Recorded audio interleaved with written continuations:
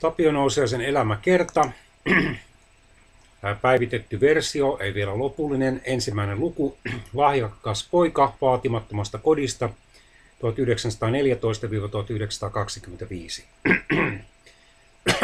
Toivo Tapio Nousiainen syntyi Pielavedellä 7. toukokuuta 1914 kauppias Vilho Nousiaisen ja kotirouva Anna Nousiaisen omaa sukua Räisänen ainoana lapsena.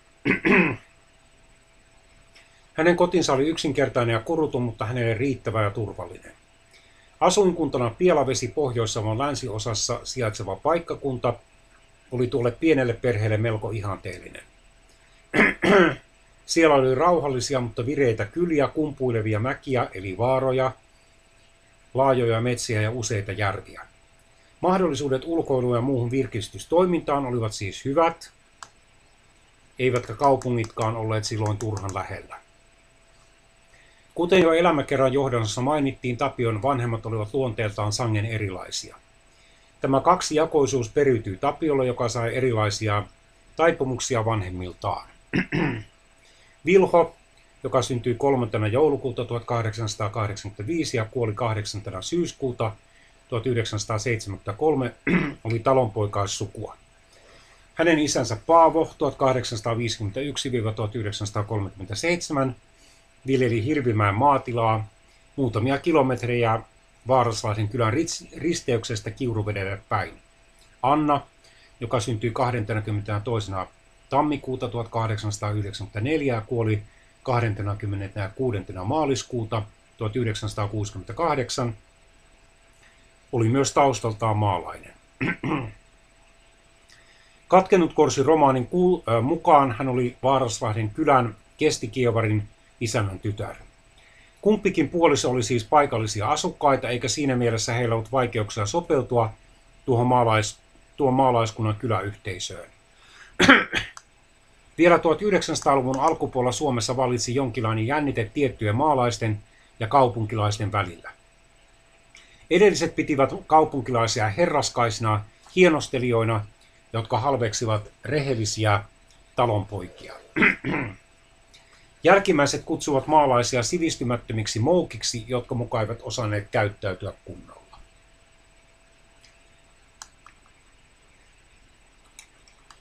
Vilholta Tapio peri herkkyyden, luovuuden, kirjallisen ja kielellisen lahjakkuuden ja hyvän puhetaidon, toisaalta myös taipumuksen heikkoon itsetuntoon ja syrjään vetäytymiseen.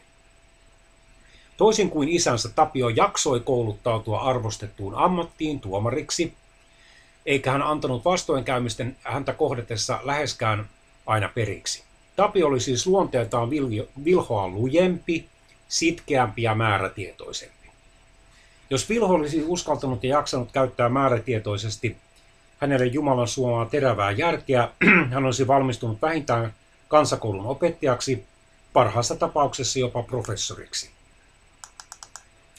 Edellinen ammatti olisi nostanut hänet talonpoikaisväestöstä kaulusköyhälistöön, eli yhteiskunnallisesti arvostettu, joskin melko huonosti palkattuun työhön.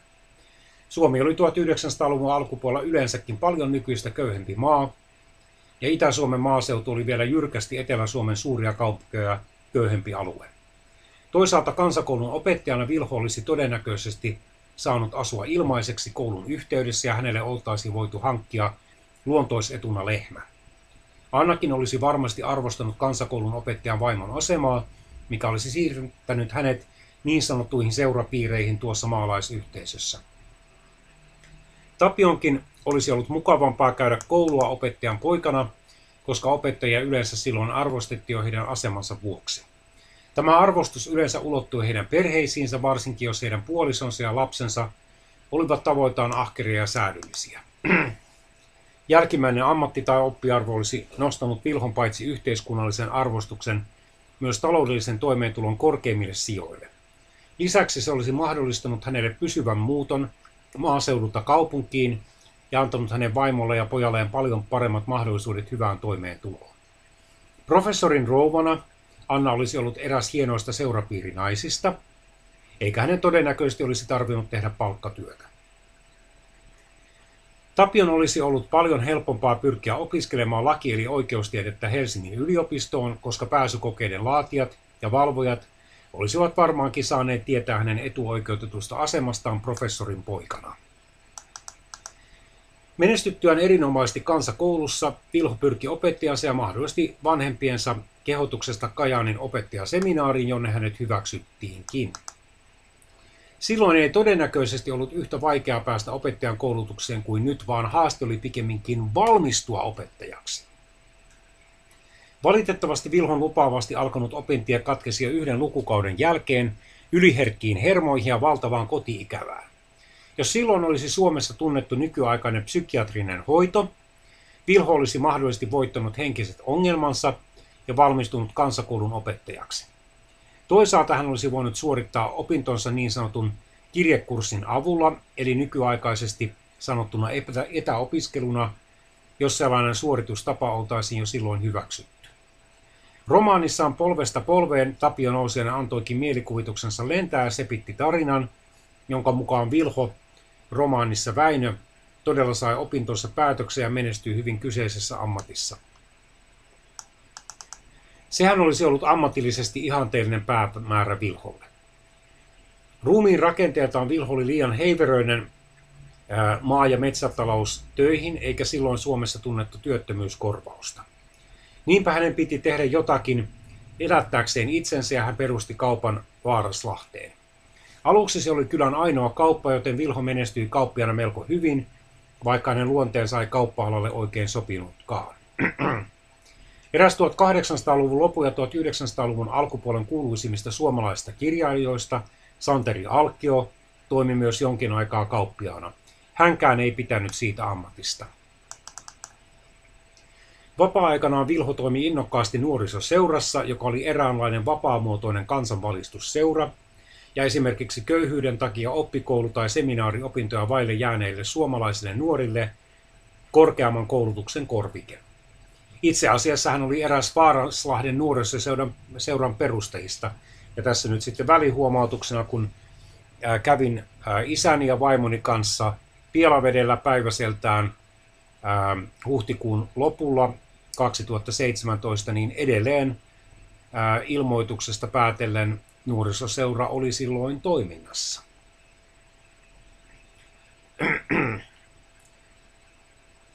Sikäli kuin oikein muistan. Siellä hän sai käyttää kirjallisia, kielellisiä, luovia ja taiteellisia lahjoja sydämensä kyllyydestä. Hän kirjoitti puheita ja näytelmiä, puhui, lausui runoja ja näytteli. Varmasti Vilho tunsi jonkinlaista lohtua siitä, että hän sai pitää puheita ja esitelmiä häntä innostavista aiheista vastaanottavaiselle kuulijakunnalle. Näin hän saattoi toimia vapaamuotoisissa opetustehtävissä, vaikka hänen seminaariopintonsa olivat jääneet kesken. Hän yritti tulla myös kirjailijaksi. Kerran Vilho jopa lähetti eräälle kustantajalle romaanin käsikirjoituksen, joka hänen suureksi murheekseen hylättiin. Eräs hänen kirjallinen tuotoksensa tosin hyväksyttiin. Kuopion kaupungin kirjasto vastaanotti hänen kokoelmansa Pohjois-Savon murresanoista.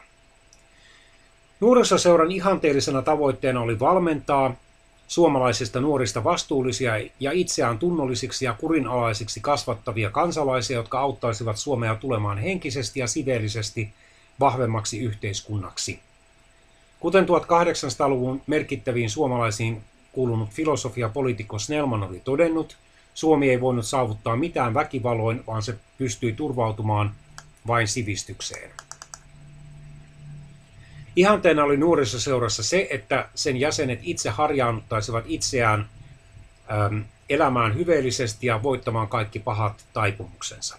Tähän itsekasvatukseen kuului usein pyrkimys täydelliseen raittiuteen. Erityisesti alkoholi vaurioitti jo silloin monien tuhansien suomalaisten elämää. Vilho kieltäytyi ehdottomasti juomasta alkoholia, vaikka hän joskus polttikin tupakkaa. Anna oli selvästi aineellisempi, todellisuuden tajuisempi ja käytännöllisempi ihminen kuin Vilho. Hän huomasi jo avioliittonsa alkuaikoina, että hänen tulisi omalta osaltaan huolehtia perheensä toimeentulosta ja tarpeen mukaan patistaa Vilhoa tekemään työtä ahkerasti ja viettämään vähemmän aikaa aatteellisissa riennoissa. Nämä tehtävät korostuvat entisestään sen jälkeen, kun Vilhon kauppa myytiin Suomen sisällissodan loputtua keväällä 1918 ja Vilho alkoi työskennellä toisten kauppiaiden palveluksessa, välillä myyjänä ja toisinaan kirjanpitäjänä. Syytä Vilhon kaupan myyntiin ei Tapio maininnut katkennut korsi romaanissa.